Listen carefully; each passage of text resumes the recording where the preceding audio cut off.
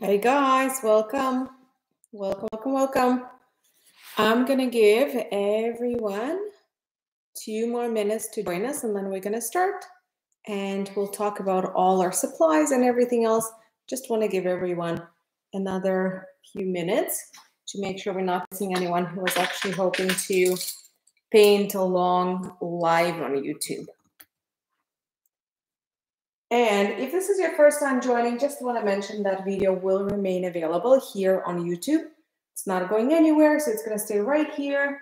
Um, if you need to come back and do it any other day, that's totally fine.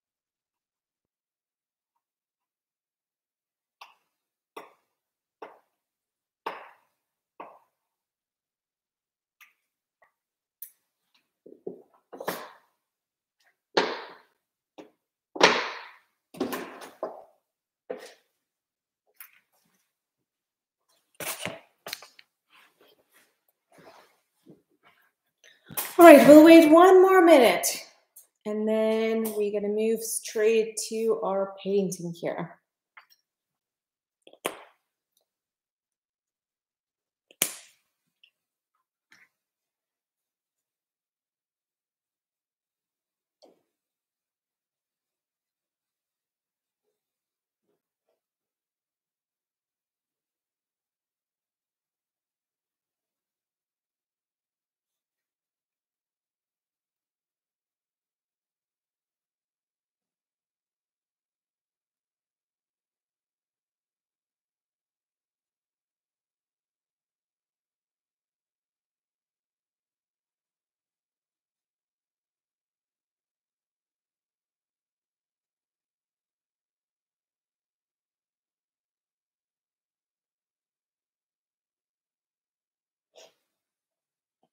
All right, so welcome guys, welcome again. If we haven't met before, my name is Vera. I will be your instructor for today and this is what we're gonna paint. Super fun. Can't say that it's too easy because eh, it's not. It has a fair share of um, difficulties, but it also really free flow other than a chair. It is super free flow. So it's almost like has an element of abstract to it in a way. Um, this, by the way, the blanket I added last minute. Um, originally didn't have a blanket, but I thought it would be good because there is a nice chair by the water. It's clearly fall, so though it's probably a little bit cold there, right? There's a nice hot beverage, so I thought blanket would be very appropriate. So what are we gonna need for today? First thing you're gonna need is a canvas. You're welcome to use absolutely any size canvas. I'm using fairly small. This is 8 by 10 inches. You can see in comparison to my hand, it's not very large, but don't let that limit you on size. If you want to go much bigger than that, go for it. There's nothing wrong with going bigger. Bigger or smaller is totally up to you. Um, my instructions are not size specific at all. So you can go as big or as small as you want. The only difference you may need to adjust the size of your brushes according to the size of your canvas you decide to use in the end. So if you go with a larger um, canvas, you might want to grab slightly bigger brushes than what I am using. And if you want to go smaller, you might want to grab slightly smaller brushes than what I am using. But that really is the only difference. Next thing you're going to need is brushes. I'm going to be using, and we always recommend generally having three different brushes, large, medium, and small. For this particular painting, for me personally, I don't necessarily need a very large brush because they're next to no large areas. I will still, however, grab it and I'll use it on a couple areas that are large-ish. Um, so yeah, this would be my large brush. As you can see, it's not massive again because my canvas is fairly small. Um, then we always recommend having a medium brush because medium brush is usually the most useful brush you will get in any painting. It does the most job. I'm going to do this one for today. So I'm gonna do rounded, medium, and large. And for the details, you always, always, always, no matter the painting, need a small detailed brush with a pointy tip. So um, this one, the size is not going to change regardless of the size of your canvas. Big or small canvas, you're still going to need a small brush with a very pointy tip. So this is my set. If you have more than that, if you have, let's say, 10 good brushes in different sizes, great, awesome. You can use them all just to find whichever one you think would be best for every step and use that one. And it's just good to have variety. So for larger areas, it's always faster and easier and gives you best coverage to use larger brush and for medium areas, medium brush, and for small areas, small brush, and so on. So pretty self-explanatory. I'm gonna put them aside for now. Next thing we're gonna need is a pencil. Just a regular HB pencil, nothing special, because we will be starting with a sketch. We're gonna sketch maybe not everything out, but a lot of elements out. So um, pencil is important. If you don't have a regular HB pencil, it's not a problem. You can use any pencil, but HB pencil is just preferable or graphite pencil. Any graphite pencil is preferable because it's easier to erase versus, let's say, um, colored pencils. Colored pencils are a little bit trickier to erase. But any pencil will do as long as it's on a lighter side. Uh, you can use that for sketch. And if for any reason you don't have any pencil, you can always grab a small brush and a light paint, such as maybe light blue, and sketch with that. But of course, pencil is preferable. And we're gonna need some water. We're gonna need a paper towel. Where's my paper towel? Hmm, that is a question. I will find it. It's somewhere around. Don't know where it is though. It's okay. I'll locate it in a second. We're still gonna start with a sketch. And then we're gonna need Oh, found my paper towel.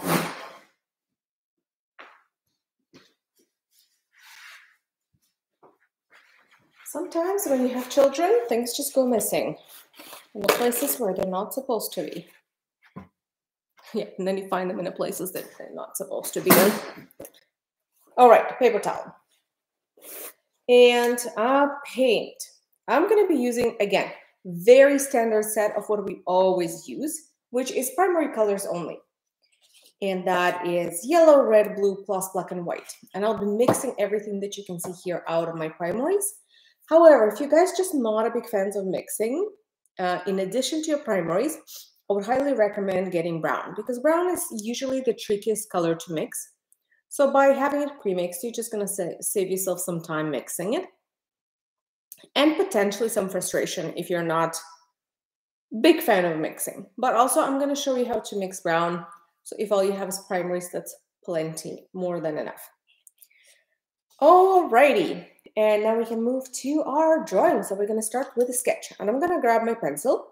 And the first thing that I'm going to do here is I'm going to decide where my horizon line is going to be. And I would say it's just going to be a little bit above the middle. So I usually start by putting a middle to my canvas. So I decided where the middle is and I put a little dot. That's more like a reference dot so that I can refer to it. Um, so here's the middle on this one. So you know how much, how much, when I say a little bit further than the middle, how much is a little bit, right? So a little bit further than the middle is going to be around here for me personally. And I'm just going to put one horizontal line. That's for the line where the water meets with land and trees. So just one line.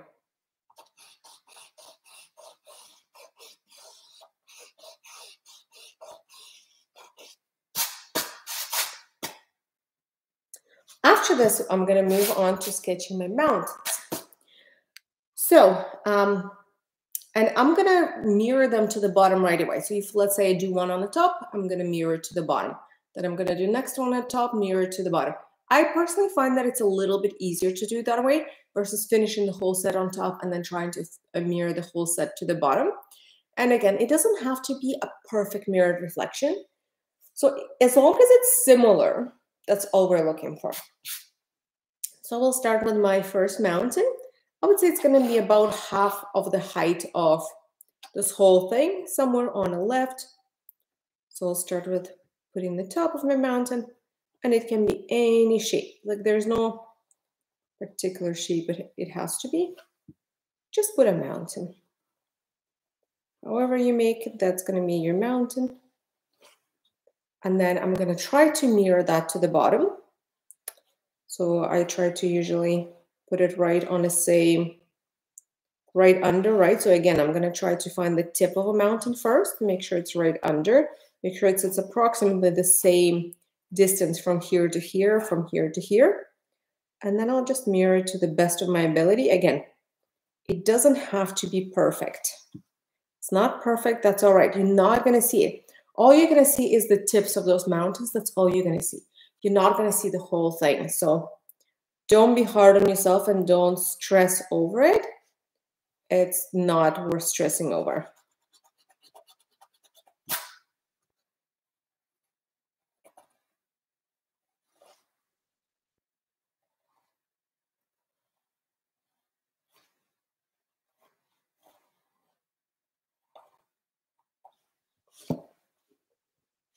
So that's my mountain number one. Then I'm going to do my mountain number two. I'm just going to do this little one behind. So it just peaks somewhere here, just a little peekaboo mountain.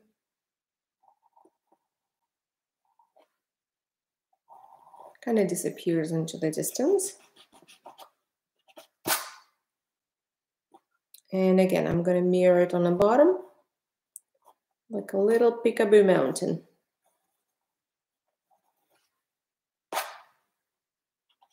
Again, super approximately. So great, I have my two, one, two, one, two. Then I'm gonna have another large one and another small one.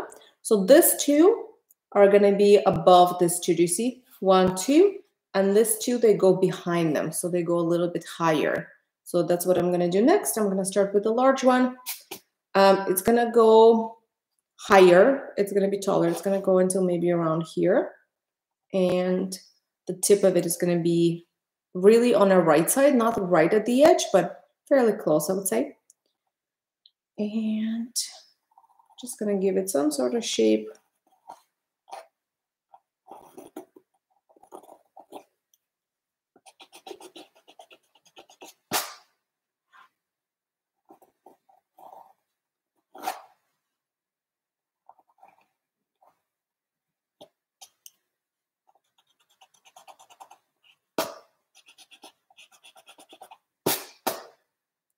All right, so that's one mountain. Again, I'm going to mirror right away to the bottom. So approximately, I will try to put it on the same distance from the side and the same distance from the water, uh, from the this line of water meeting with the land. So I would say that's approximately here. And from there,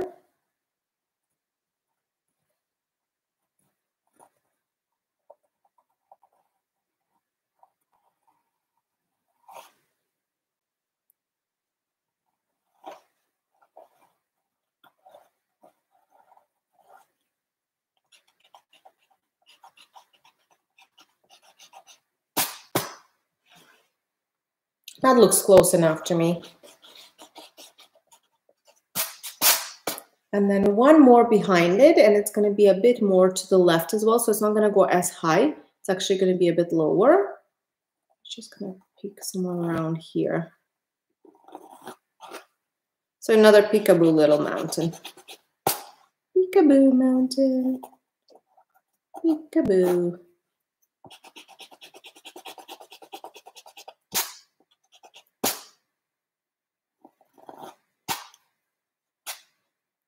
And the same here. Let's try to mirror it. Mm. All right, wait.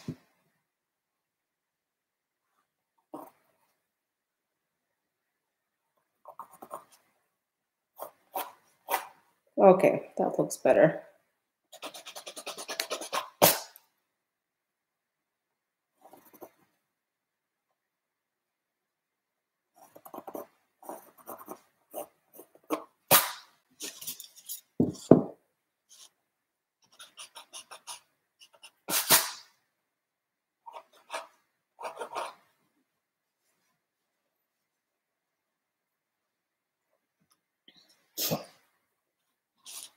So we have our mountains.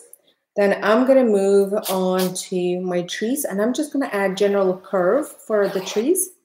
I'm not going to clearly um, draw each and every single of the trees. So just general curve. And by curve, I'm actually not drawing the top of the trees. I'm drawing this line.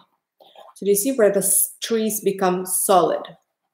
Not where the trees, you can see just the top. So this is going to be the line. I'm going to go right here. So it's going to be a bit I guess, smaller distance that you're zoning out because uh, the trees are going to go slightly higher than that line. So keep that in mind. And it's just going to be a little curve with um, higher points on the sides and lower in the middle. That's all we're looking for here. There's no there's no complexity to the curve. It's just a curve.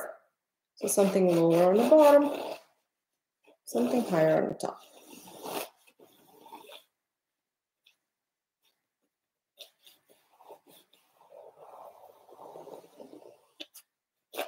All right. And the same for the bottom, because again, we're, reflect, we're adding reflection of everything.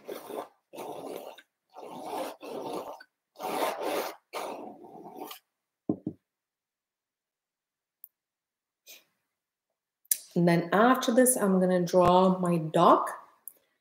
Very simple, actually. Dock is super simple. We're just going to start with one horizontal line.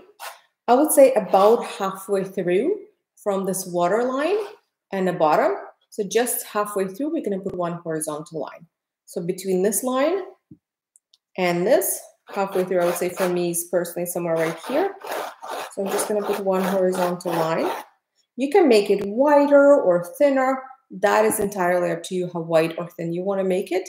I would say generally I'll make it about half size of this width fully. Uh, so I'm going to leave about quarter on each side. Again, that's super approximately. If yours is a bit bigger, not a problem. If yours is a little smaller, not a problem.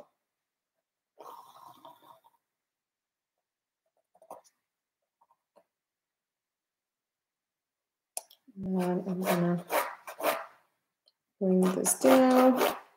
You can bring it down straight to the edges. You can bring it down a little bit further than the edges. You can bring it down a little less than the edges. That doesn't matter at all. It is more of your personal preference how wide you want it to be. So where I originally made it, it made it just above the edges. So it was a little bit wider like this. But this time I'm looking at it, I feel like, why not make it a little bit smaller? So I'm just going to make it a little bit smaller this time. But again, that doesn't matter. Whatever works for you guys.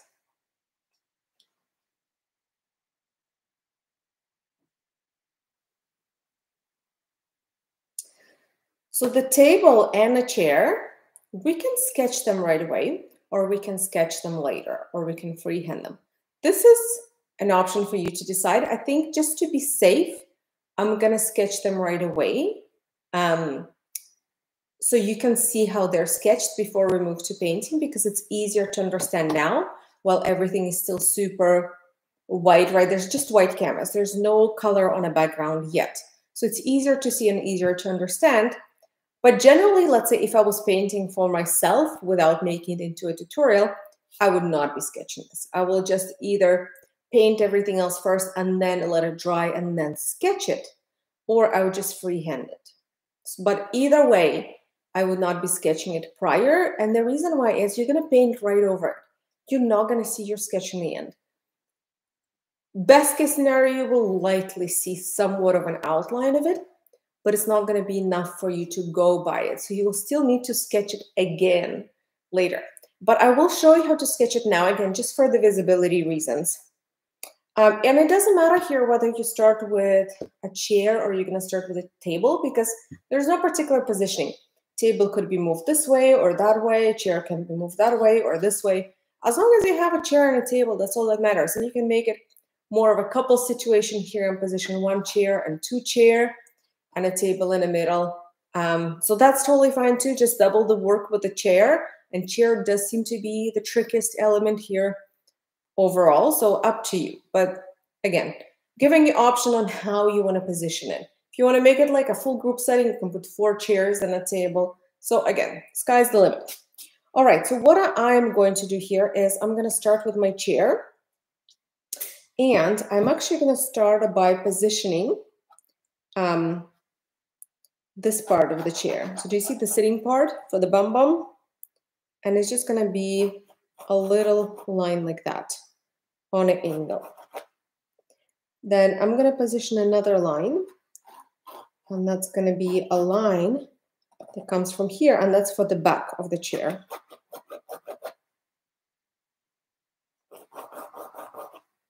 So those are all our lines. See line, line, line. And then the back of a chair.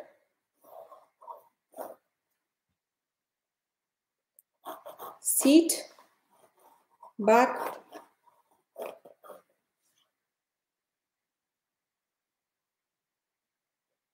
now legs. I'm gonna add the arms. So the arms of this chair is gonna go from here to here. It's gonna be an armrest. And then there is gonna be a leg supporting all that.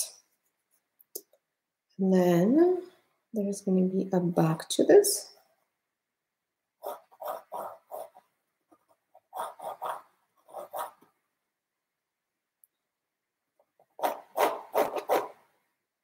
And another leg going down.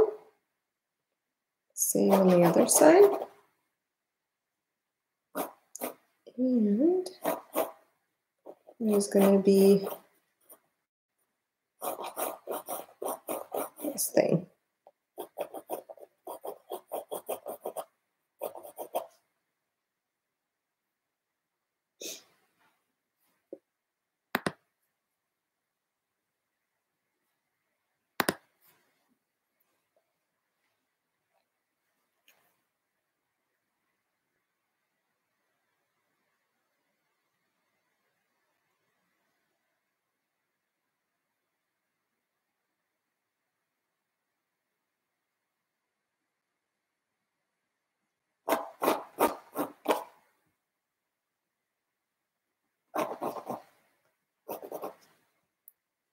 All right, and that is pretty much your chair.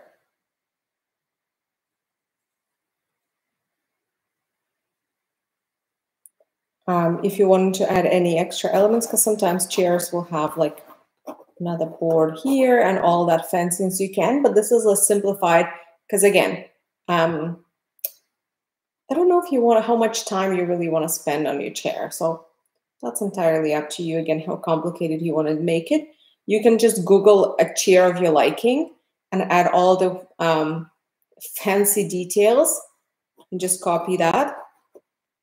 Because again, this one is a little bit simplified for the sake of not making it too complicated. So that's one chair. And then I'm going to add my table. So the table, I just start with a straight line. Then on that straight line, I position the round tabletop. And I give this one thickness.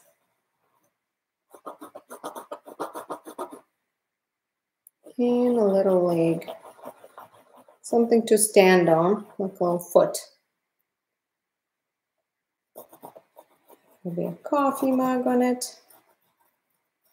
With the handle. Again, you don't have to sketch it because we're going to paint right over it. So you're not really going to see any of it. But it also is fine to sketch it.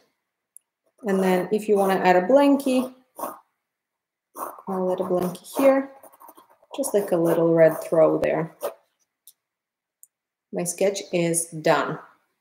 So I'm going to give you guys a couple minutes for this. I'll just fix this image on my screen for a little bit, um, maybe two minutes, and then just to finish and uh, finalize the sketch. That's for anyone who is attempting to actually paint along to catch up. And then we're going to move to our painting part. For those of you who are just watching today and you're not painting along, that's okay. You can always do this later.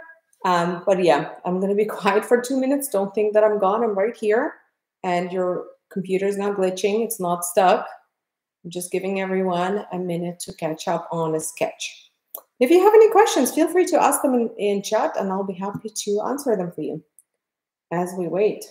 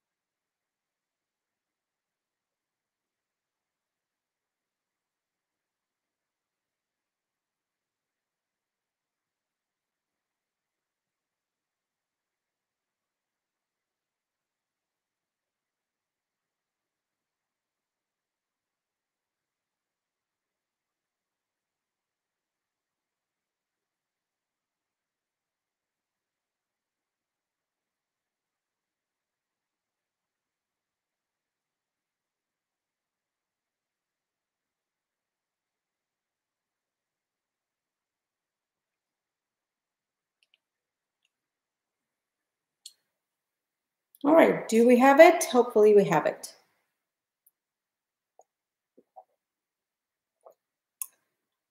Okay, so what I'm gonna do now, I will lighten up my lines a little bit, not all of them.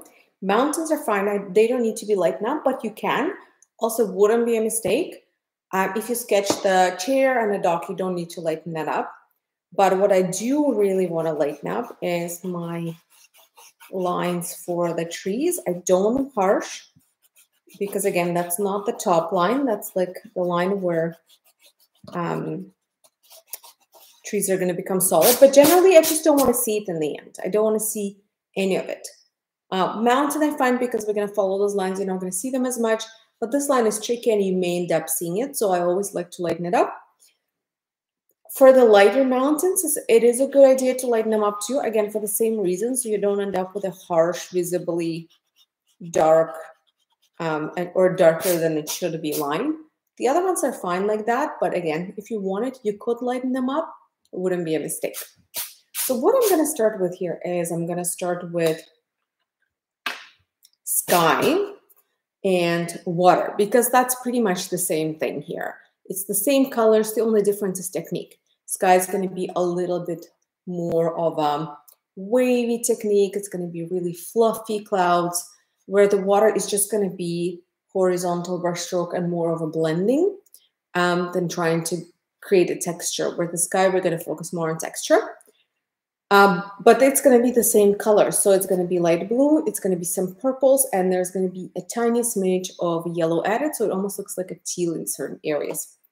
So we're going to start by mixing that. I will grab my large brush, but either large or medium is great for this. So I'm going to grab my large brush, I'll dip it in water, and then I'm going to scoop some white on the side.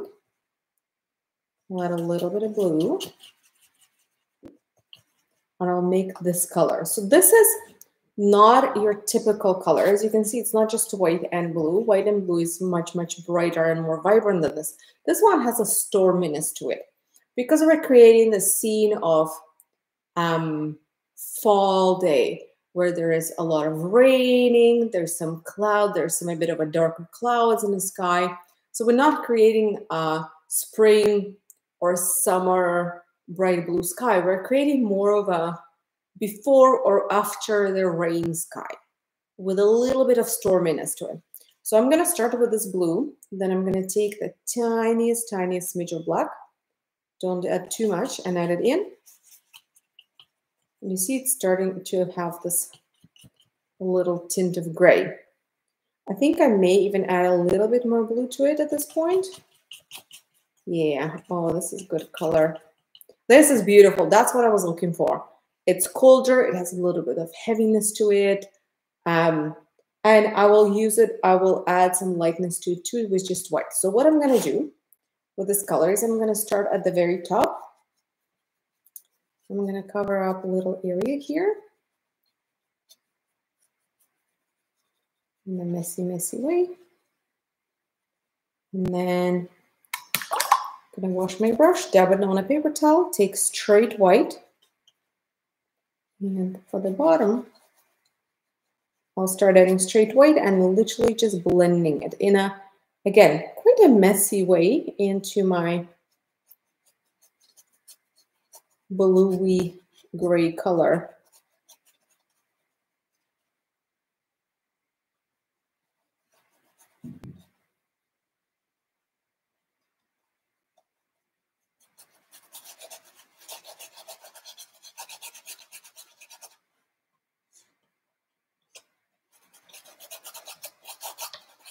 You see, as it blends, it creates this lighter color anyway. So lighter blue in a way. So I'm going to fill the rest with that. And I'm going to leave it for now. I'm going to move on to my bottom. And again, I'm going to go back to the stormy bluey gray color. And I'm going to start by filling in this corner.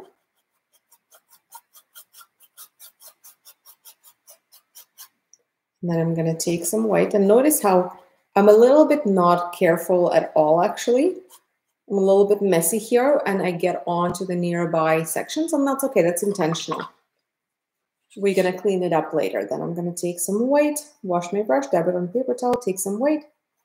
And from the top down, again, I'm just going to add some white and I'm going to create some blending here too.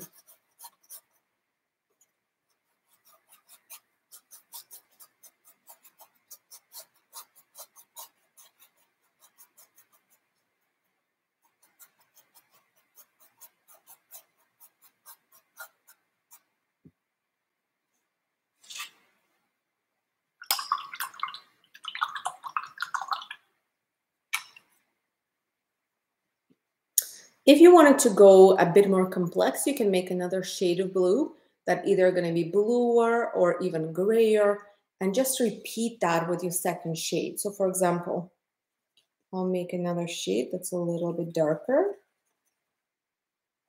Again, it's the same components, blue, black, and white. Just make it slightly darker. And I can add another little smidge here just for complexity again. Doesn't hurt to have a little bit of complexity. I'm to wash my brush, dab it on a paper towel, make sure it's nice and dry. And then I can somewhat blend it here and here. Same, I could just dry brush blend it. Or you can take some white and blend it with white. It really is whatever works for you guys. But I'm not looking for a perfect blending. I'm still looking for some texture on the top.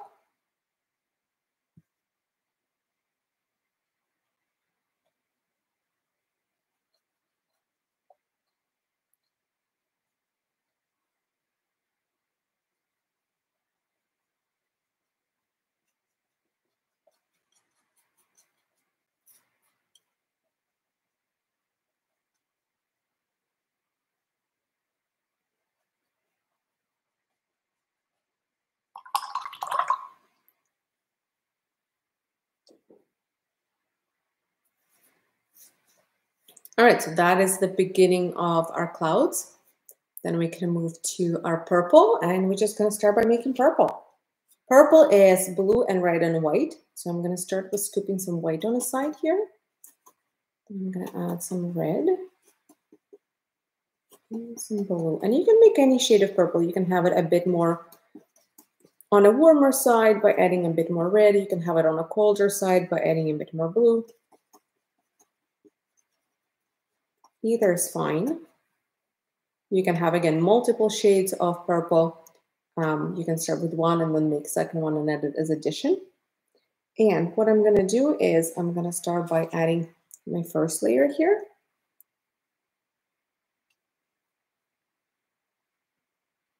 So just a little wave here in a way, cloudy wave. And I'm going to take some of this paint, not all of it, some of it, and add a bit more white to make it a smidge lighter. And that's going to be my second layer. So a bit lower than the first one. I'm going to add my second one.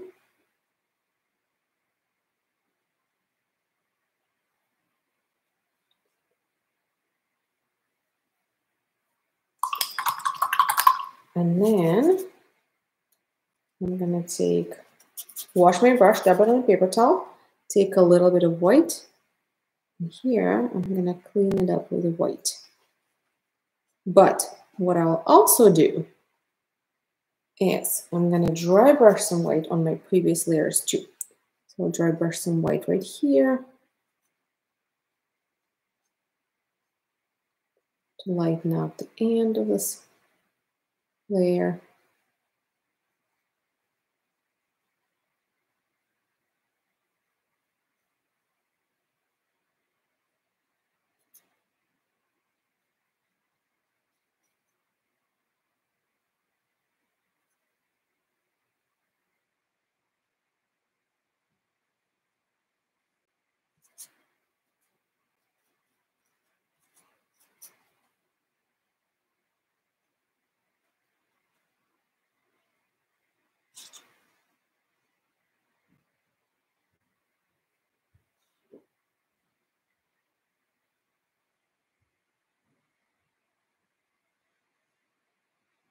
All right, so that's my clouds. And while I still have my two purple colors, I'm going to take them and I'm going to add them to the bottom. So starting with my darker purple, then my lighter purple, and then some white to blend and merge all of that.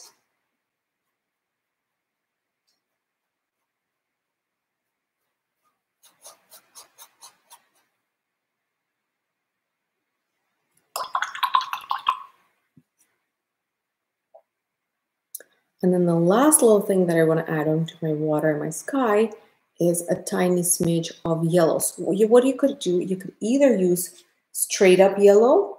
I don't mean straight up yellow. I mean actual yellow. So just you're going to make some white and some yellow. You're going to make it very, very light, but it's still going to be yellow. So something like this. And using just the bare minimum on your brush, you're going to dry brush it on. Other options, you can make it into a teal and use it that way. So if you use straight yellow, you're just gonna dry brush some on. And you sky, make sure your yellow is like a super light and a pastel version. You don't wanna have it like a bright yellow. It has to be really, really mixed with white. And then you super, super lightly just add it in. We're assuming that there's some sunshine is coming through somewhere there through all of that cloudiness. You can add a little bit of that anywhere you want on the sky. Or again, you can do teal instead, which teal is, um, if you still have a little bit of that blue, you can just take some lighter version or uh, take some of that add white and that add your yellow and it's going to be more of a greenish teal tone, but still make it light and you can do it that way. The result in the end is going to be about the same because as you dry brush this over blues and purples, they will uh, visually, it will get lighter and visually give you different tone. It's not going to read full on yellow.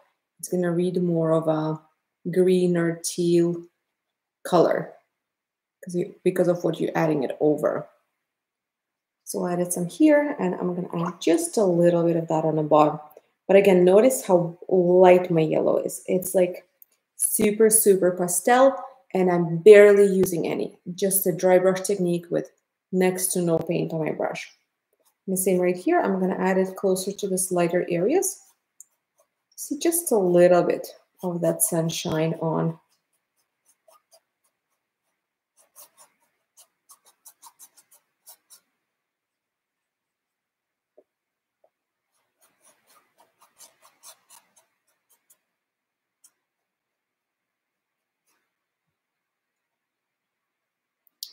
All right, and that's my background. And this is how little you want to have it on your brush. Do you see if I do it on my hand, this is the mark that it leaves. This is how little bit I'm using.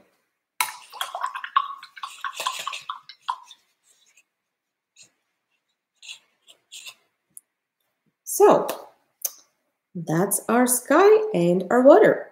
After that, we're going to move on to our mountains, and I'm going to do mountains approximately the same color. Do you remember that stormy blue that we made here. So this is going to be the all the shades of that stormy blue. You're going to start with the darkest one for your first mountain. Then the next darkest one is going to be this mountain. Then the lighter one, lighter one. You don't have to do your mountains in that order, but that's the order of darkness pretty much. So I'm going to start again by making my color. I don't have much of it left. So take some white. And you always want to make the darkest version first because it's easier to make it lighter. You just add some white to it and there you go. But it's a bit trickier to make it darker. At least that's how I prefer it. Just a little smidge of black. You don't need a lot of black because black just makes everything grayer and it loses the color. So it's best to only add a tiny smidge of black for storminess but you don't want to turn it into a full-on gray either. So I think this should be a good color. Oh yeah, beautiful. Beautiful, beautiful, beautiful. And you can use any brush for this. For the large mountain, I can still get away with a large brush here. But for the rest of them, probably medium brush because I don't think I can create those with a large brush. So I'm going to add my first mountain.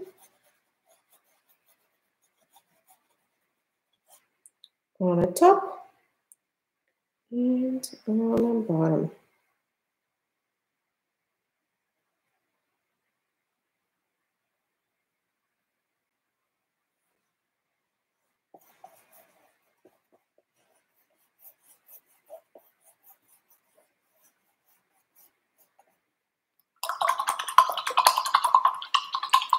And another thing I quickly want to do right away is I'm going to wash my brush, my large brush, put it aside.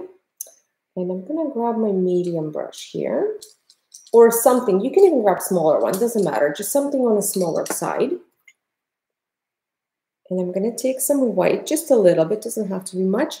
And I'm going to highlight the tip of it because I just want my tip a little bit lighter not a lot, but do you see it gives it that fogginess, that softness.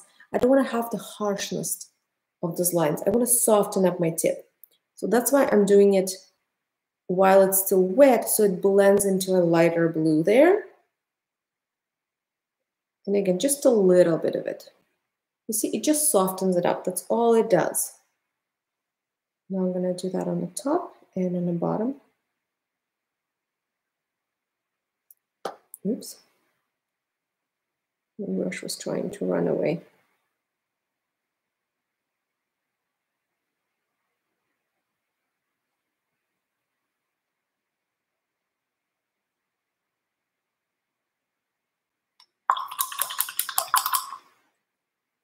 If you wanted to, originally when I was making it, I added some darker color in there too. So if you wanted to, um, you can take maybe a smidge more black or purple even and just take a darker color and just add some darker shading in the middle, just a little bit. But don't go to your edges, just so it has a bit more substance in the middle of some kind. Again, it's not very important. It's very, very optional. So done. I'm going to move to my next mountain. I'm going to move to this one and to this color that I used for the base of this mountain. I'm going to add some more white and that's going to be my color for my next mountain because it needs to be lighter. So I think this should be, oh yeah, that's a great color. That's perfect. I'm gonna go on to this one.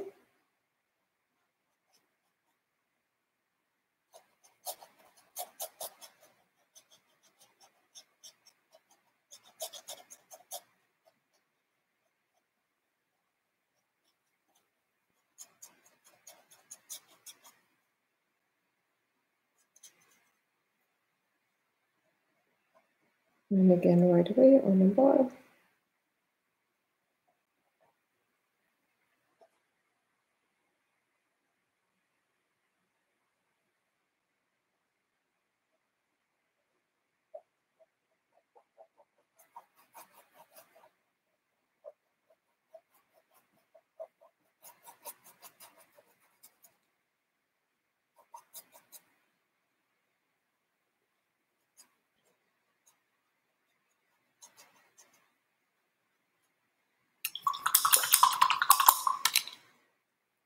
Then again, I'm gonna make it even lighter by adding more white to it. And then I'm gonna move to my next mountain, which is gonna be this one.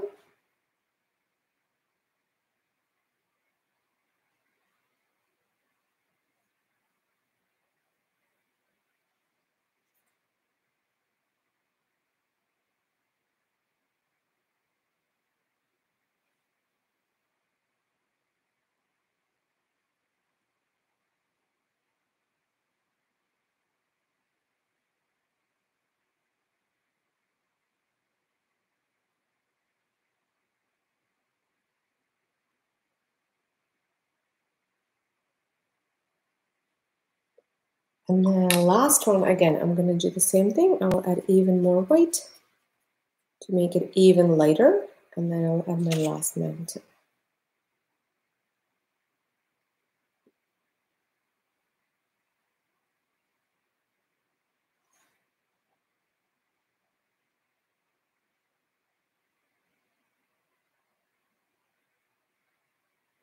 And then before all of that dries, I'm actually going to go in with white.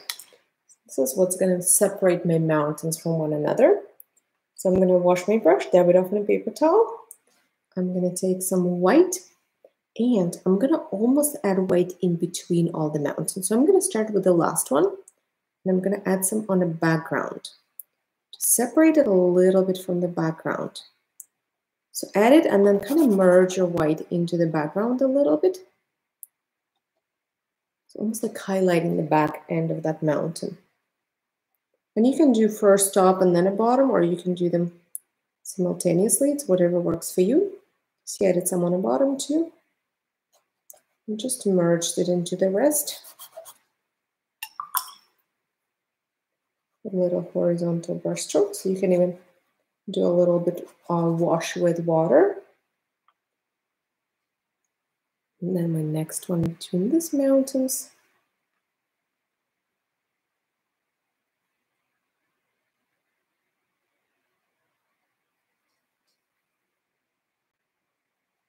Again, merge it into that background there.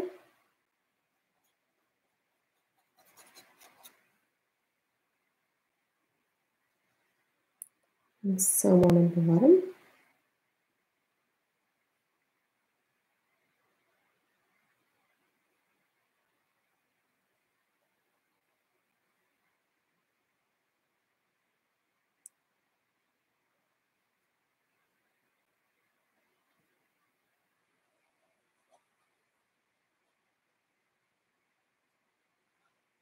And then I'm going to do behind this mountain too.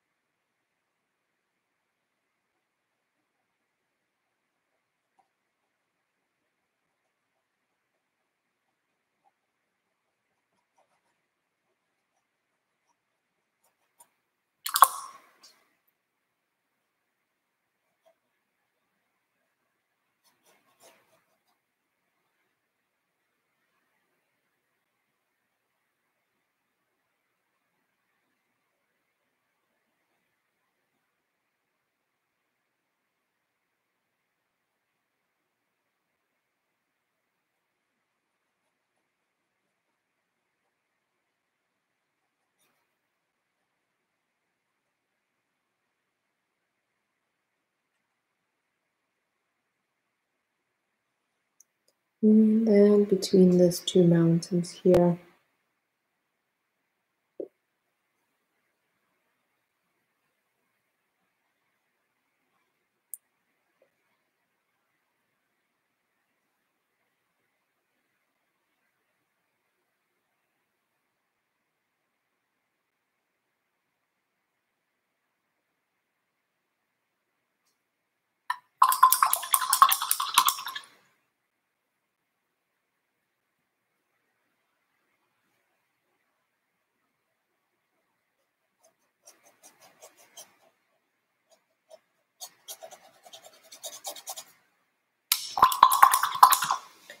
And all my mountains are done. My sky, my water, and my mountains. Now I have to wait until they dry up a little bit because I can't really move on to adding all those beautiful uh, trees until my mountains dry up. So I'm going to wait. But as they dry up, what I could do is I could start on a base of my dock here because I have to paint the whole base first before I can move on to chair and a table. So that's what I'm to do. And for that, I'm to need to make my brown. So I'm to start by mixing a base brown. It's just to be mixing a standard dark brown. I'm to grab my large brush. I will scoop some yellow on the side.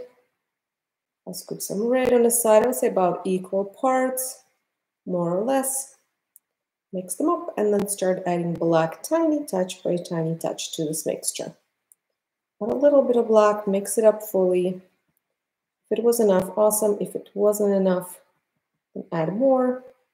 I'm just to continue doing that little by little.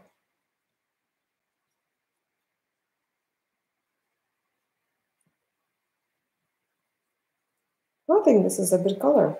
Looks like a dark brown to me. And um, troubleshooting for brown if it looks a little bit on a red side. That means you don't have enough yellow. Just add a bit more red yellow. If it looks a bit more like on a greenish side it has like a greener undertone that means you don't have enough red. So just add more red. If it looks too orange you don't have enough black. If it looks too gray you don't have enough both yellow and red but mostly red and that is my dark brown. Now that I have my dark brown, I'm actually going to make um, my base color for this, which is not going to be a dark brown. It's going to be a medium brown. So I'll take whatever I have left on my brush and maybe even a little bit more. And I'll mix it with some white to create a nice medium brown. That's all we're looking for, nothing particular, just something medium. And then with this medium brown, I'm going to color in the entire duck.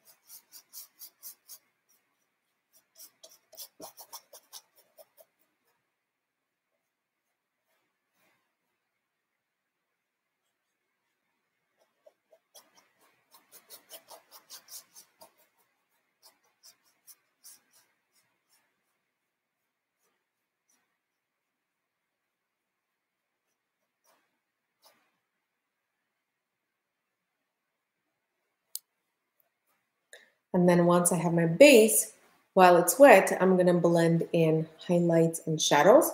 And you can do this, you can continue working with a large brush, or you can switch to a medium one. I personally think medium one is just easier to work with here.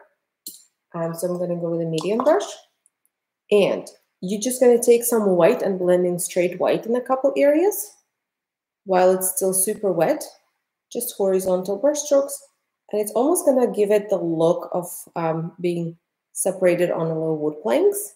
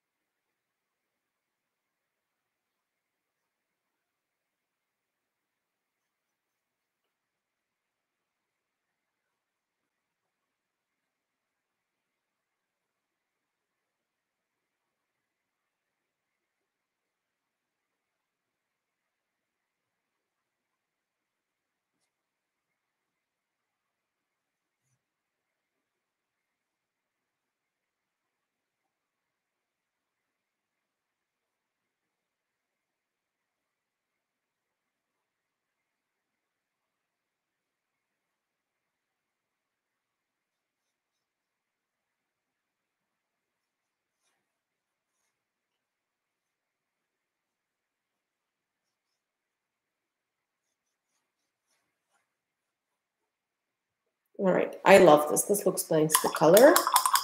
Really like it. And then you're gonna do the same with the dark brown. So you're gonna wash your brush. You're just gonna take your dark straight brown that we just mixed and try this one to kind of almost add it in between the areas that you added in white because otherwise they will blend into that medium brown again and there'll be no point. So kind of almost try to flick it in between when possible. So you're not bringing it back to the state of just one medium brown. And don't over blend this. That is super important too. Because if you're over, over blended, again, it's just going to turn into one medium brown. All right, this is good. I'm happy with this. And with my dark brown, I'm actually going to add those poles on the side. So do you see, I'm going to do three on each side. Um, first one being somewhere at the edge. They're all going to be vertical. So no matter how much you might want to tilt them this way or that way, straight vertical. Straight vertical one, straight vertical two, straight vertical three. To one side, and then similar on the other side.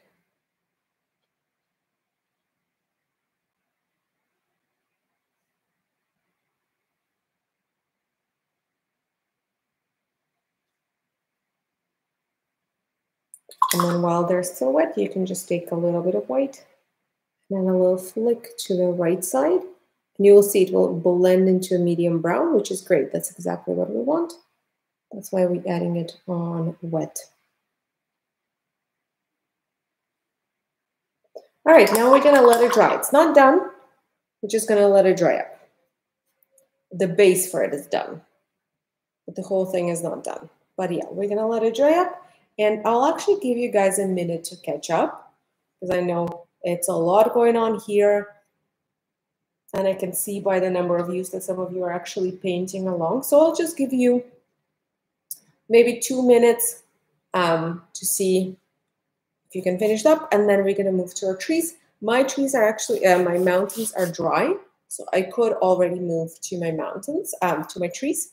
If yours are not dry yet, that's okay um, you can always either wait or you can blow dry them to speed up the process. I probably, again, if you're trying to keep up and do it along um, as we are live on YouTube, you could probably, your best bet would be to speed it up by using some blow dryer, but whatever works.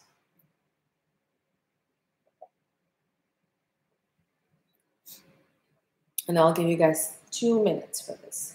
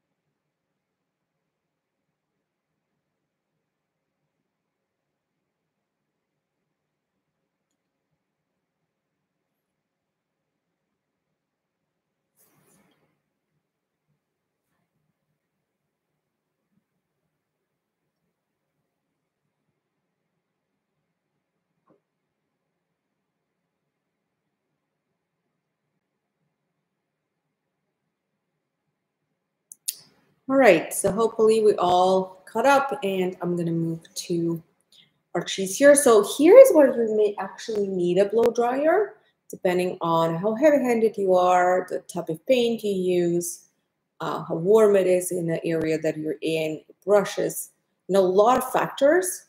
Um, you may or may not be able to do this without a blow dryer. I mean, you can always do it without a blow dryer. It just again depends on how much you want to wait for the drying times.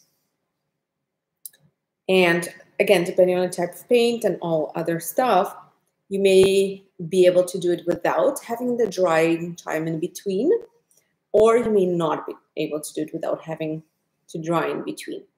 So what we're going to do is I'm going to start with yellow here. Then I'm going to move to orange. Then I'm going to move to red. And then I'm going to move to green.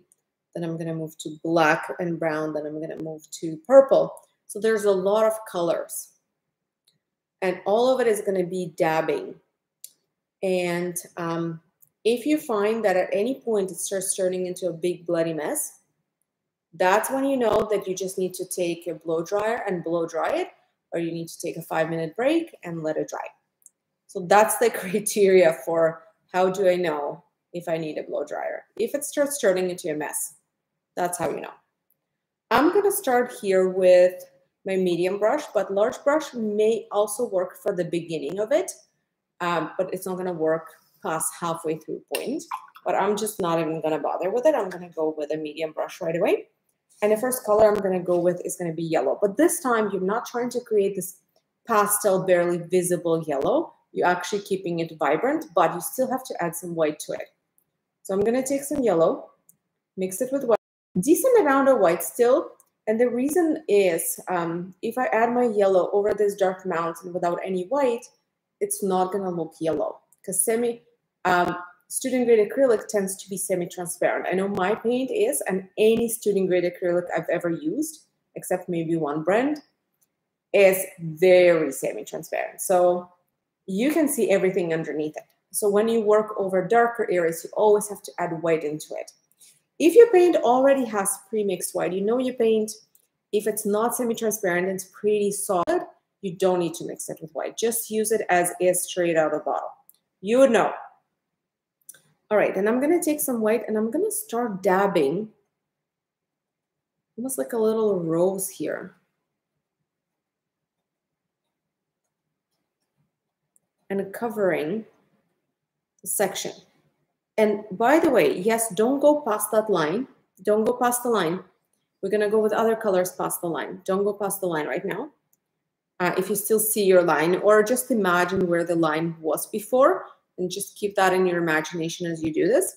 And don't go all the way to the bottom either. So do you see this middle line? You see how I'm stepping a little bit before that? Not a lot before that, just a touch before that. Basically, that's what I'm doing. So I'm adding almost like the base here in this yellow. And some of my mountains still see through and that's okay. I, it reads yellow and that's what matters to me.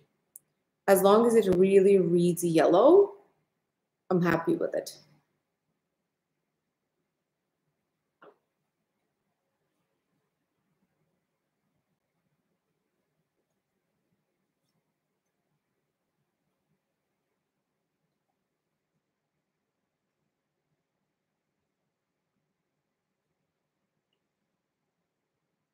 All right, so that's my first layer. My first layer, my first color. Now, for the bottom, I'm going to do the exact same thing. Literally nothing different.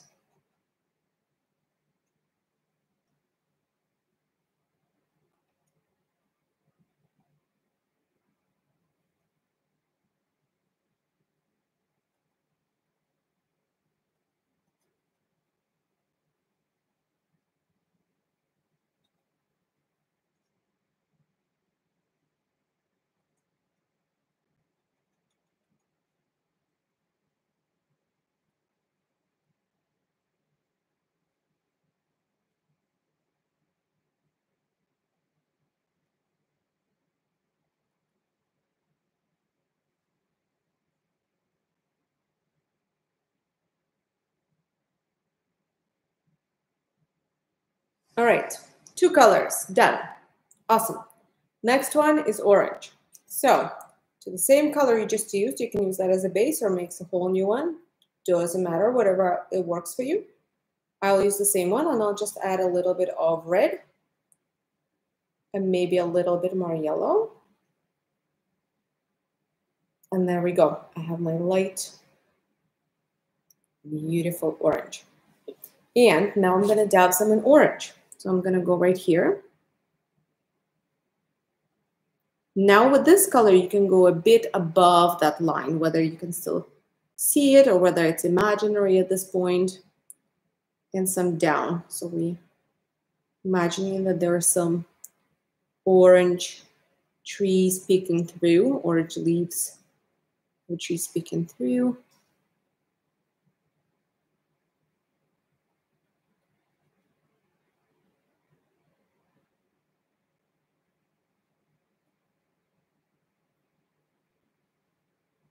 Uh, maybe I'll go right here too.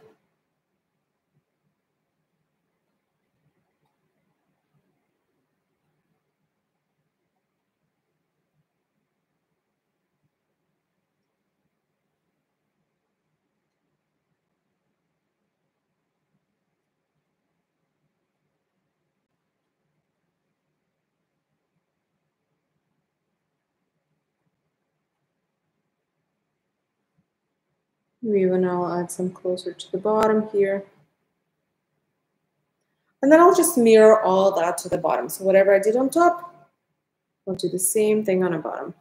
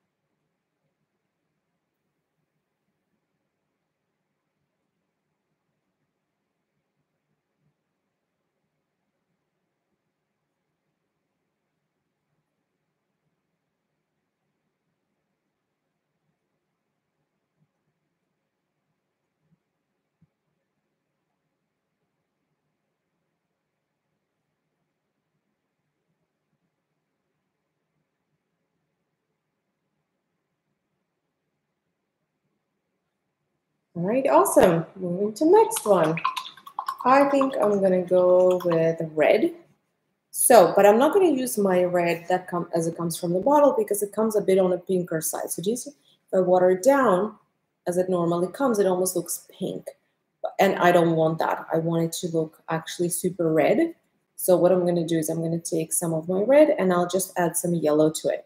It's not gonna visually change much of the color, in fact, it looked red before, it still looks red, but it gives a different undertone. It gives it orangey, more flame kind of undertone, which is what I'm looking for.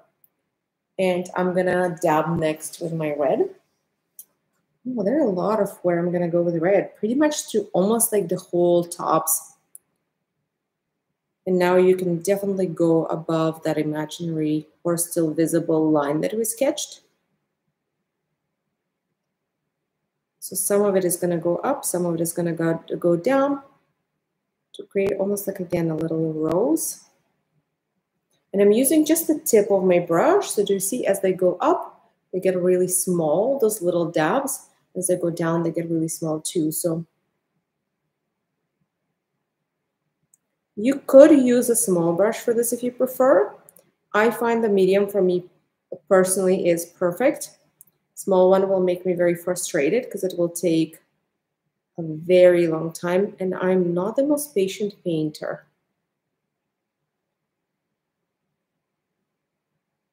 But see for yourself, and I'm but I'm also not perfectionist, just FYI.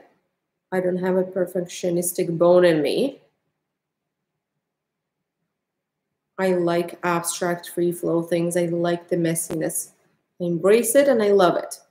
But I know not everyone like that. Some people get very stressed by messiness. And what brings me joy may actually make you want to lose your mind. so if that's you and you more of a measured stick kind of girl or guy, um, or you're just a strict perfectionist, you might want to grab a small brush because small brush will will give you more precision and more ability to make those dabs going up and down really fine and make it look more like a pointy tree in the distance. But just heads up, keep in mind, it will take forever. So medium, I find medium brush is like best of the both worlds. It still gives you ability to make those fine lines, fine dabs going up and down and make it look like pointy trees in a distance, but it takes half the time that it would take with a small brush.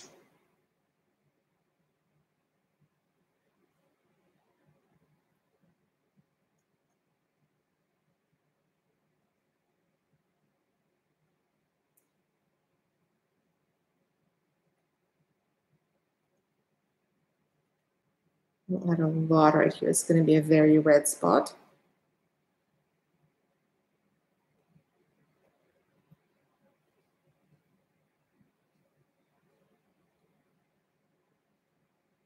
What's the goal? The goal is to have variety. So you don't have to position your colors exactly like I position mine. What we're looking for in the end is just a beautiful variety of colors all merge into one another and create one big picture. The gorgeous trees in the distance.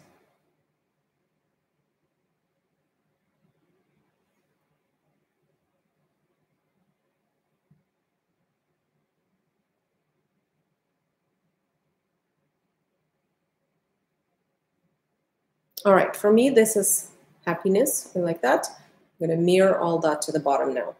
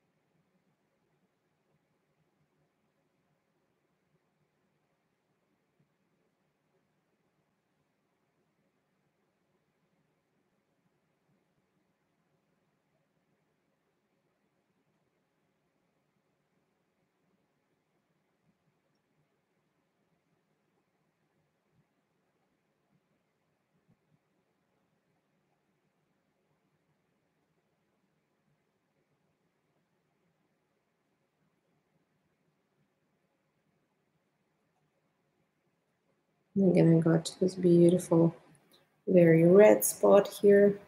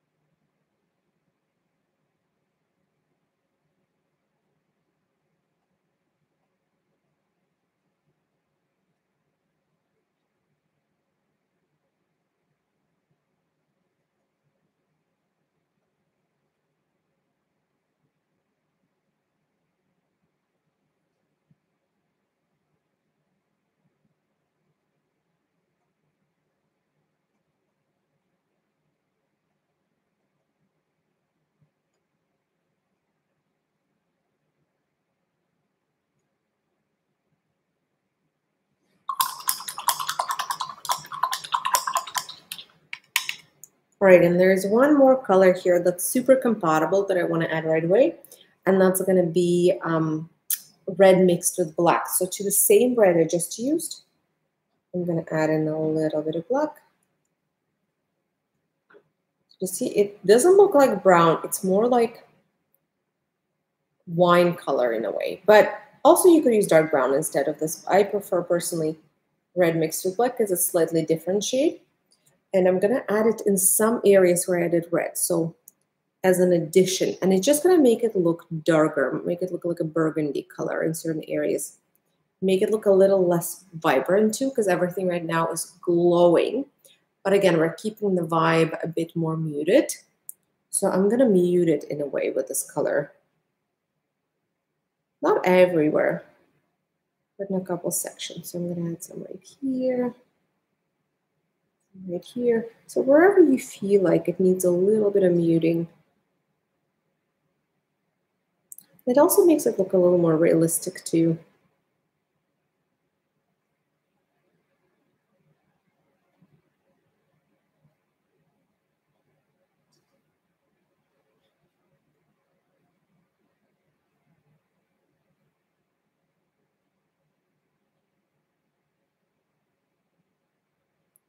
So I muted some areas on top, and again, I'm gonna just add the same areas on the bottom.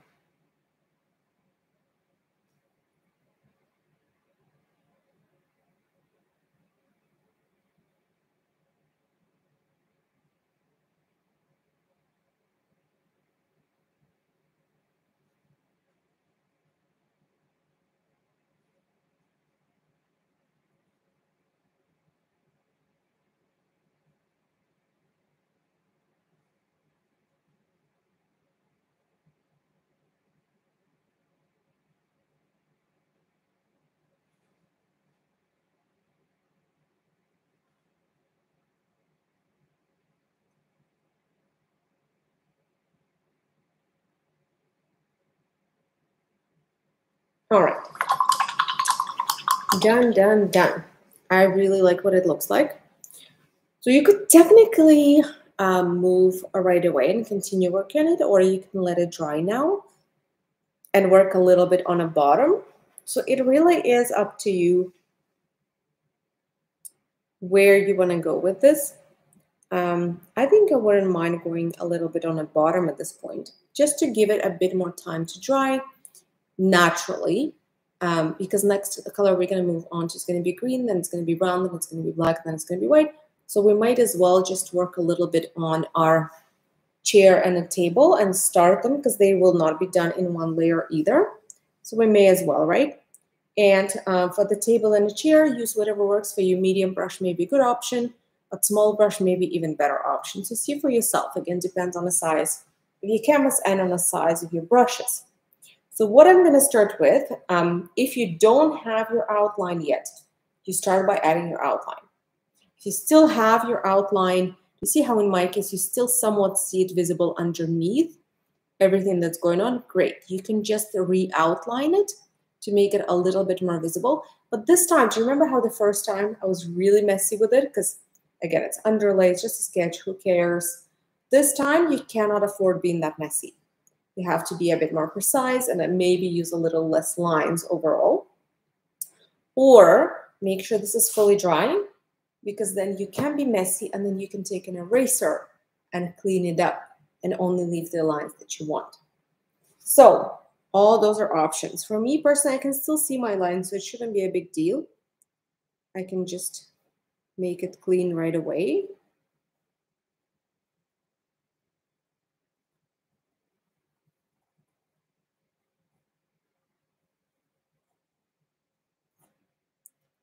So I'm adding it. And again, you, you can't see it very well because we're adding it on a darker colors. And that's okay. That's good thing. You don't need to see it really well, as long as you somewhat see it. So our chair.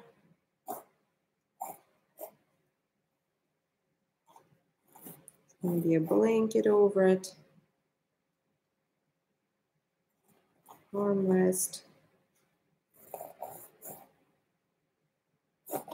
Piece. For anyone who is like, I have no idea what you're doing there because I can see nothing, this is exactly why I showed how to sketch all of this up front when we just had a white background because you're not going to be able to see anything right now because we have a dark background at this point. And it's really hard to see anything on a dark background. So, do you see I just re-outlined everything? And then I'm going to take my medium brown. I still have some dark brown, right? I'm going to take it, mix it with my white, make my medium brown again. Similar to the color I originally used to start my dock with. So it doesn't have to be that precise color, but something medium. And I'm going to fill in the tabletop. You can avoid mug or add mug on top later. Either is fine. Just going to avoid it. So I'm going to add color in the table and the bottom part here too. This little leg there or whatever that's called. And then I'm going to color in with this medium brown the back of my chair, except what's going to be covered by a blanket. For anyone who's not doing blanket, then it's going to be the whole back of a chair.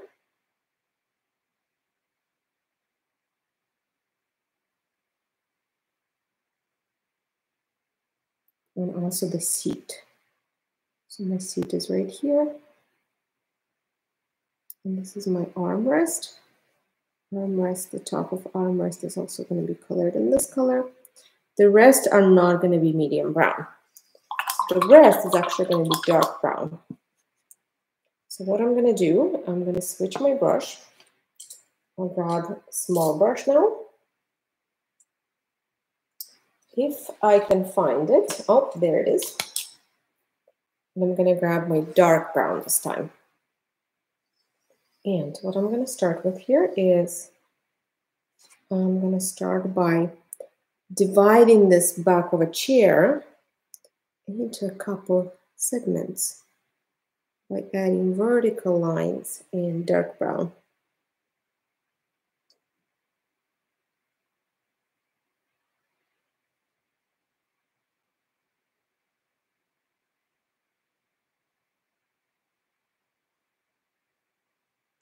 Then I'm going to add the bottom that connects them all. And a little piece here on the top that holds it all together as well.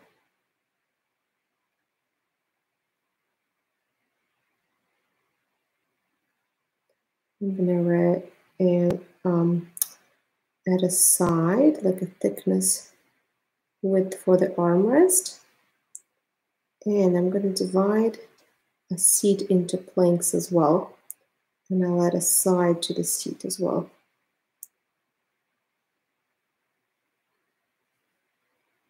Then I'll add all the other connecting elements. So I'm going to add a leg here.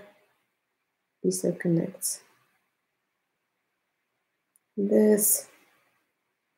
I'm going to add this rocking part chair, the rocking chair part, part that actually works.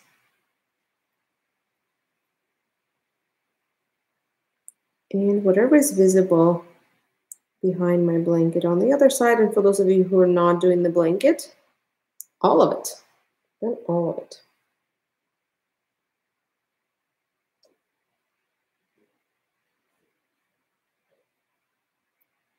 And then I'll do the width of my table, so the thickness of a tabletop.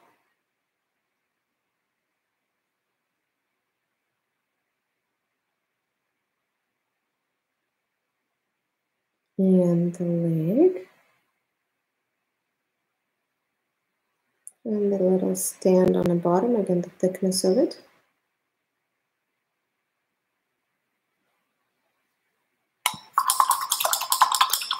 then I can do highlights right away so again it was just a little bit I will wash my brush dab it on a paper towel it's just a little bit of white you can even water it down or just dry brush it so it's not like whole large blobs of white I'm gonna, oh, that's too much white. Let's get rid of some of it on my brush. I'm gonna start adding highlights here. using the small brush again.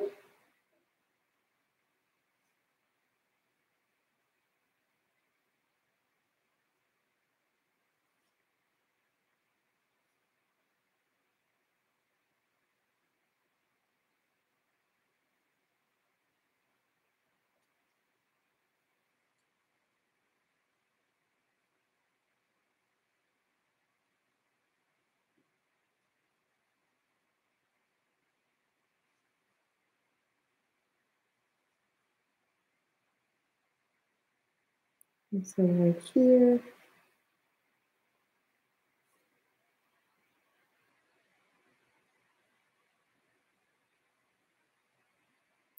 Some in between those pieces here.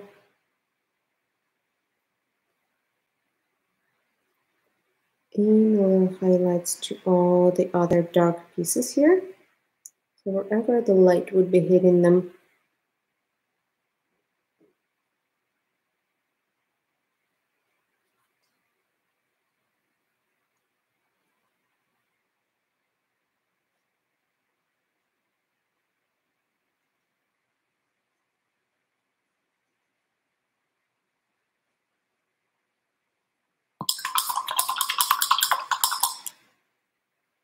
And I can add a first layer on both um, towel and a mug. So towel and a mug, to make them super vibrant red, I'm actually going to do them in multiple layers. So for the first layer, I'm going to take some of my red and I'll mix a little bit of white in it. So it's almost going to look pinkish and that's okay because that's just the first layer. I'm, I'm putting it for the base because once this dries and we add second layer, they're actually going to start glowing and be super vibrant. But we have to add this weird looking first layer first.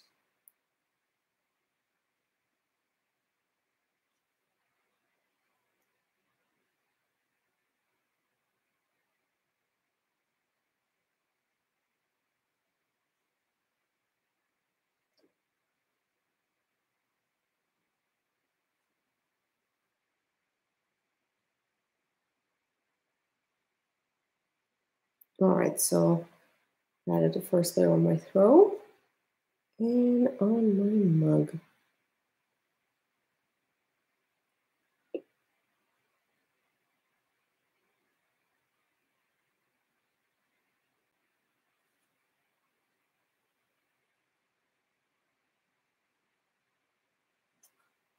Done. Now I'm gonna let it dry. There's still a lot to add to the dock and the elements on it, but we're just gonna let it dry for now and we're gonna go back to our trees. So I'm gonna switch my brush to a medium brush and I'm gonna make green. In my case, it's gonna be darker green, but any shade of green will do, whatever works for you. Green is yellow and blue. Here we go, that's a base for the green. Now, if you wanna give it some shade, you can add to it. So for example, if you wanted uh, colder, add more blue. If you want it dimmer, you can add a bit of black. If you want it more like a burned um, green, you can add a bit of red or brown. If you want it emerald, more blue and white. If you want it lighter, more yellow, grass green, more yellow and white. So whatever you want to it. I think I'm going to stick with this dark one, but I will add a tiny smidge of red because I just want to give it like a little more of a swampy undertone. I want to get rid of that emerald undertone. Not there is anything that there is anything wrong with it. It's just not what I'm feeling like right now. So I'm going to make it a little bit more muted. And with this color, I'm going to go on the bottom and I'll add it wherever I think it needs to. So now you can actually do from this bottom line. You don't have to leave a gap there. So I'm going to add a little bit right here. And again, same way, dabby dabby dubs, like little lines.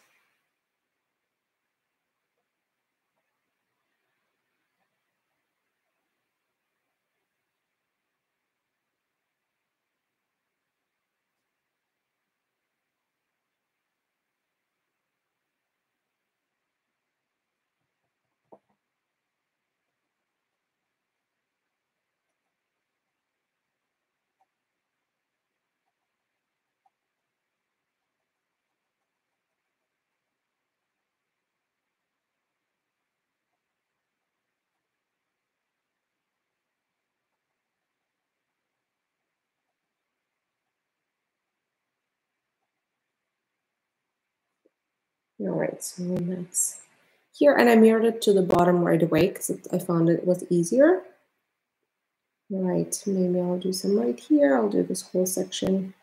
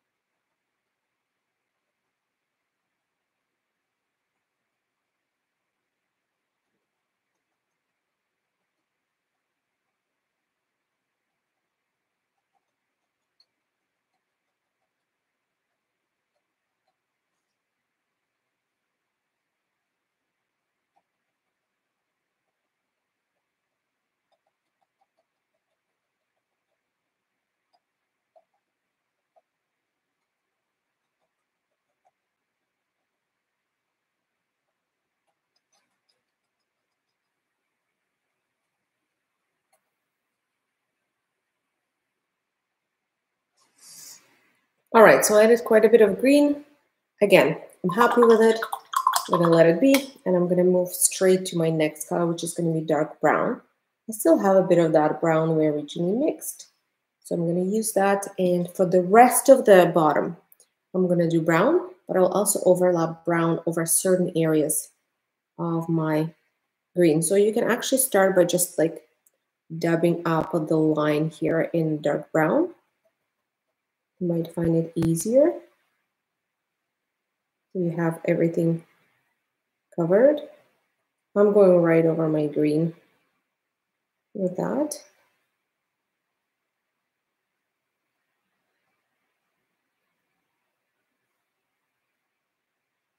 Again, if you feel like it's creating a big, big mess, let it dry. In my case, I think it's doing good. All right, and now I'm just going to start in certain areas to dab it up. Certain areas a bit higher, and certain areas not as high.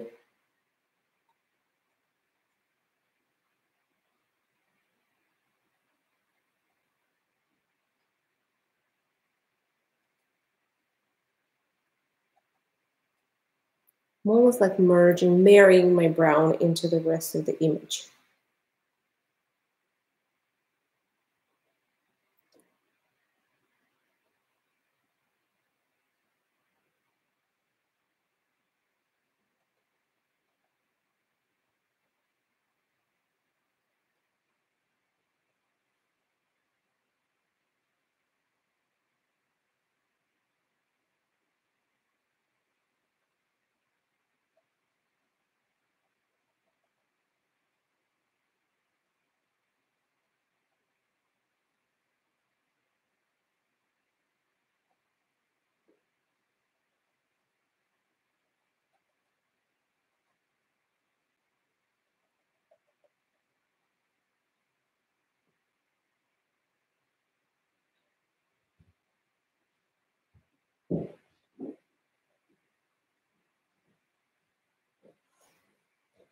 All right, that looks really good.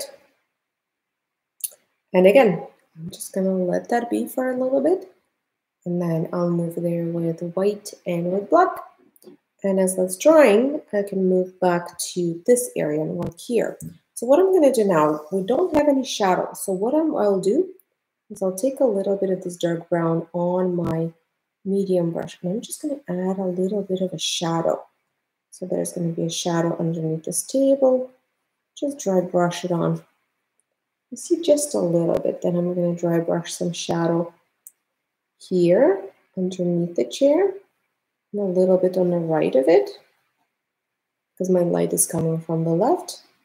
So the shadow will be going towards the right. See just a little bit of a shadow there.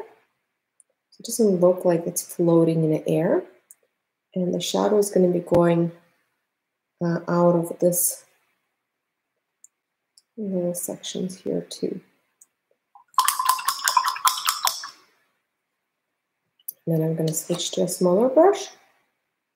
and use the same dark brown. And you can technically even use black if you wanted to, but I find your dark brown is a little softer. And we're just going to add a couple more separation lines here.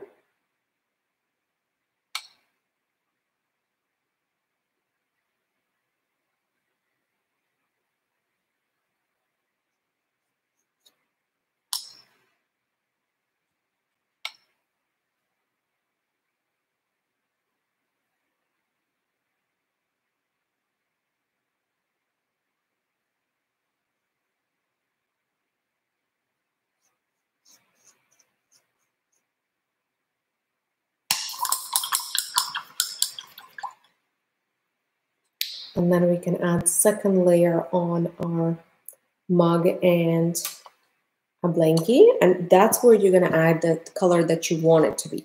So in my case, again, I'm going to take some of my red. I'll add in a little bit of yellow just to give it that shade, different shade, just a touch. And with this beautiful glowing red, I'm going to add second layer and that's going to be, it's going to start really popping.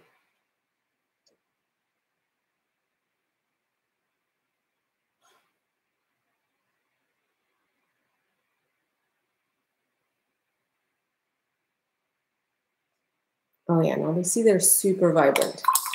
And to finish it up, while it's still wet, I'm going to take just a little bit of black on my small brush. And I'm going to add like a darker section here on the right of the row here. A little bit on the bottom for design. And a bit on the mug to shape it, just a touch. Of course, you can add the beverage. Like this, it's going to be coffee. And of course, the same with highlights. So wash your brush, take a little bit of white, and while it's still wet, can add, oops, too much. Okay, that's better. Some white. And it will blend, and that's great. That's exactly why we're doing it on wet. It does blend a little bit. Looks softer.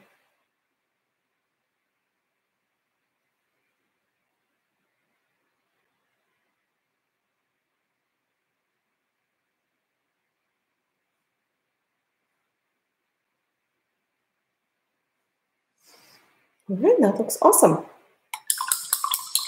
Now another thing that I can add white here while I wait for the rest to dry up for a couple more minutes is my dog. So I'm going to add my final white. So I'm going to grab medium brush. You can even grab large because we're going to be dry brushing it. So grab either medium or large brush, just a tiny smidge of white and then really rub it into your brush. Really, really, really rub it in. Then if it's too much, you can even dab it off on a paper towel. And then we're going to lightly, very lightly, add some more white here.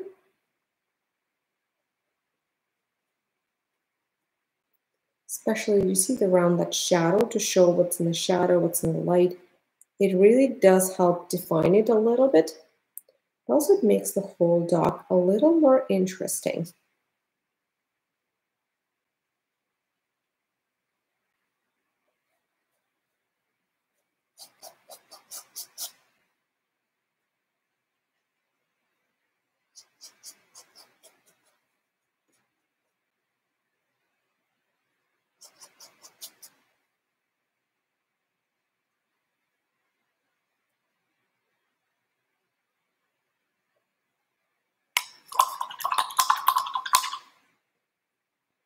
So my dog and um, this all is done. The only thing that I'm going to add a bit of steam, but that's when my background is done. Actually, there's one little thing I'm going to add on a dog, just straight white highlight on with little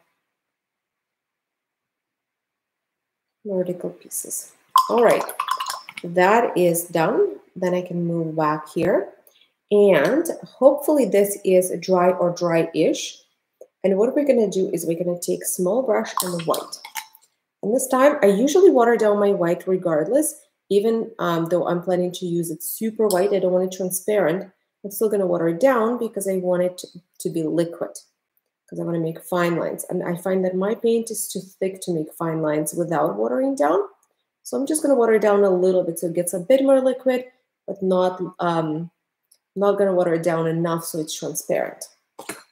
And I'm going to start by putting my line back, the one that separates water from the trees. And you see, I'm not doing one straight, I'm more doing it from combination of multiple lines. And then I'm going to continue bringing those down. So continue adding those lines as I go down.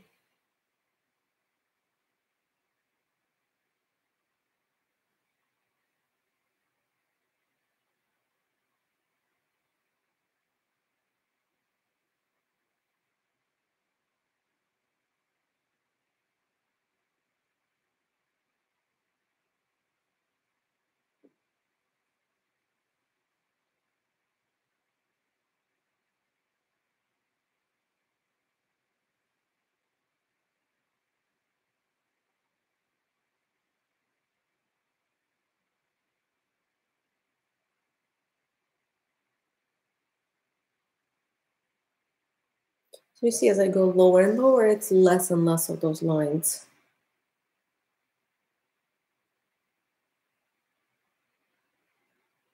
And then I'm just going to add a couple of to the sides here.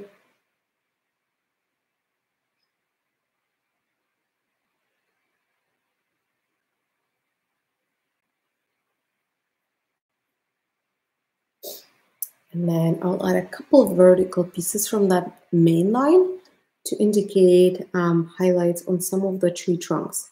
It doesn't matter where you add those vertical pieces, wherever it feels right for you.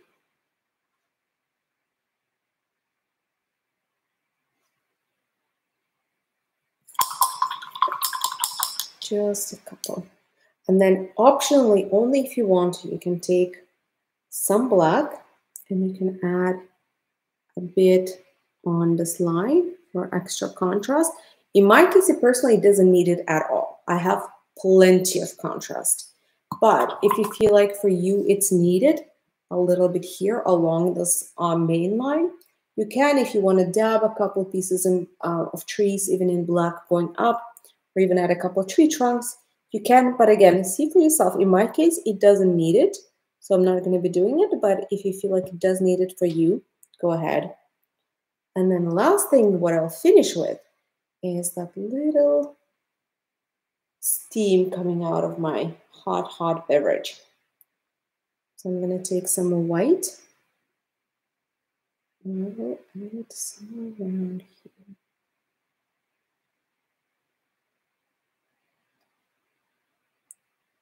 You see, it looks in white. However, the very bottom part, I'm also going to take a smidge of brown tiny smidge. I'm just to darken up a portion of it very, very lightly. Do you see?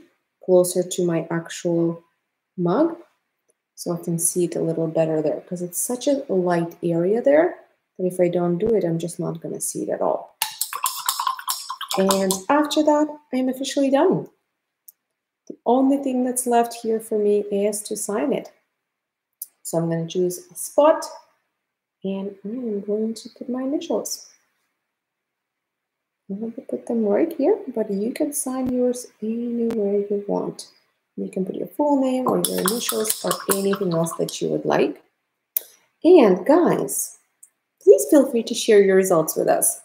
I will make sure once I'm finished, I will edit the description of this video to make sure there is a link edit where you can share them. It's a Facebook group. We do have a Facebook group where we encourage everyone to share their results. So it feels like we did it together. So feel free to do that. And then you can take a look at how other people's turned out if there if there are other people who share it as well. So yeah, feel free to do that. Um, if you're a or not, that's okay.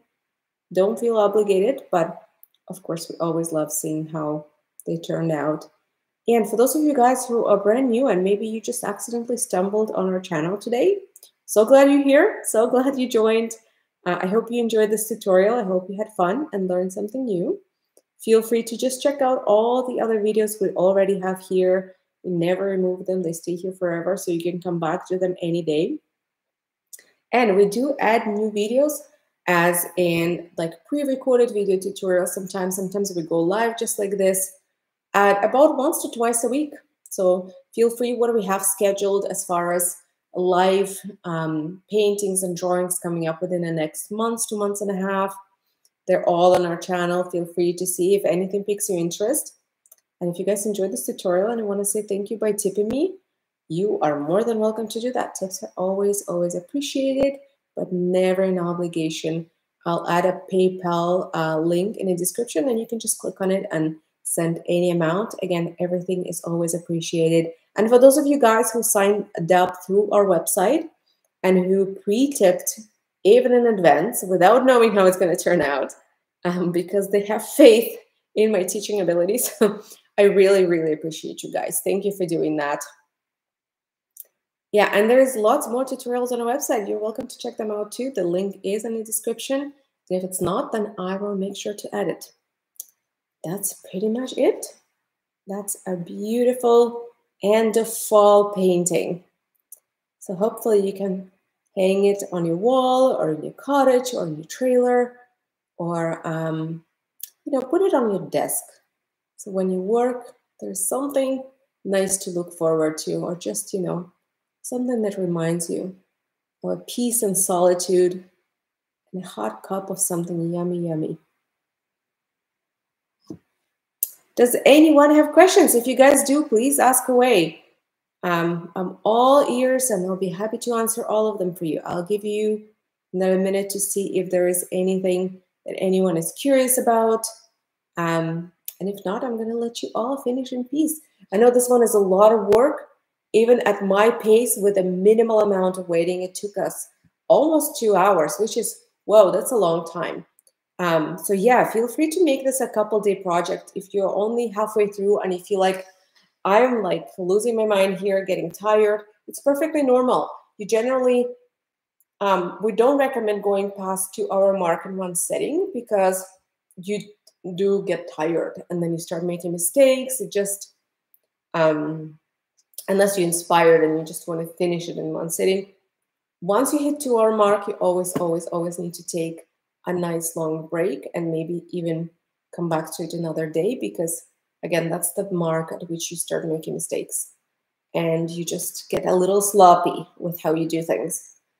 So yeah, if you're there and if you're feeling it, take a break. If you're there and you feel inspired and like you got your second breath, second wind, then go for it, finish it.